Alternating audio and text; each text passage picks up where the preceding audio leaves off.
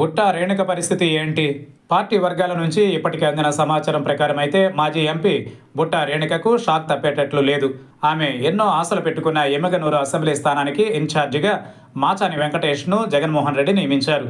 Yemmiganur assembly నుంచి పోటీ చేయాలని బుట్ట చాలా కాలంగా ప్రయత్నాలు చేసుకుంటున్నారు. అయితే ఎమ్మెల్యే ఎర్రకోట చెన్నకేశ్వరరెడ్డికే టికెట్ ఇస్తారన్న సంకేతాలతో ఏం చేయాలో బుట్టాకు అర్థం కాలేదు. కర్నూలు ఎంపీగా అవకాశాలు దాదాపు లేవని తేలిపోవడంతోనే ఎమ్మికనూరు నుంచి పోటీ చేసేందుకు బుట్ట ప్రయత్నాలు మొదలుపెట్టారు. బుట్టాకు పోటీగా రుద్రగౌడ్ ఉన్న ఎమ్మెల్యేనే కీలకమయ్యారు. అయితే తాజాగా జరుగుతున్న మార్పుల్లో చెన్నకేశవరెడ్డికి జగన్ టికెట్ నిరాకరించారు. ఎమ్మెల్యేకి లేదా ఆయన కొడుక్కి కూడా టికెట్ ఇవ్వదలుచుకొని జగన్ సడన్గా మాచాని వెంకటేష్ పేరును తెరపైకి తెచ్చారు.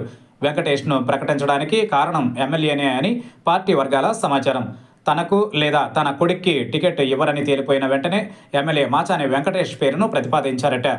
మాచాని చేనేత వర్గానికి చెందిన నాయకుడు. ఇంతకాలం ఎమ్మెల్యే మద్దతుదారుడిగానే ఉండిపోయారు. వైసీపీకి పడుతున్న చేనేతల ఓట్ల వెనుక మాచానే కీలకమట. మాచాని పేరునే ఎమ్మెల్యే ఎందుకు ప్రస్తావించారంటే ఎమ్మెల్యేకి బుట్ట రేణుకకు ఏమాత్రం పడదట. బుట్ట కూడా చేనేత వర్గానికి చెందిన నేతే కాబట్టి చేనేత సామాజిక వర్గానికి చెందిన వెంకటేష్ పేరును ఎమ్మెల్యే ఎర్రకోట ప్రతిపాదించారని సమాచారం. మాచానికి రుద్రగౌడ్ కూడా మద్దతు ప్రకటించారు. అంటే బుట్టాకు ఎమ్మెల్యే రుద్రగౌడ్ మాచాని అందరూ వ్యతిరేకమే అని అర్థమైంది. కాబట్టే జగన్ కూడా బుట్టా పేరును పట్టించుకోలేదు. చేనేతలు ఎక్కువగా ఉండే నియోజకవర్గాలలో ఎమ్మిగనూరు కూడా ఒకటి. తాజా పరిణామాల్లో అటు కర్నూలు ఎంపీగా పోటీ చేసే అవకాశాలు బొట్టాకు దాదాపు లేవు.